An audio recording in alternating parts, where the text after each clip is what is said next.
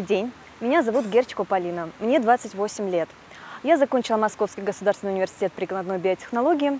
По образованию я инженер-биотехнолог, а, но сегодня я презентую себя в качестве ведущей прогноза погоды.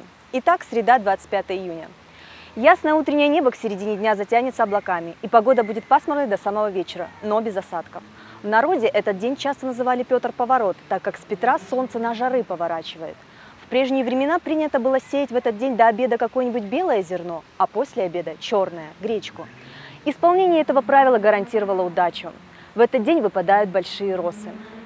В городах-курортах 26 градусов, и осадки возможны только в Кисловодске. В Нестекумске и Солнечнодольске 28, в Буденовске и Ипатово 31, в Невиномысске и Ставрополе 25-26 градусов. Наши предки приметили, что если дождь идет маленькими каплями, будет идти долго, а если смотреть информбюро на СТВ, будешь в курсе событий. Удачного дня!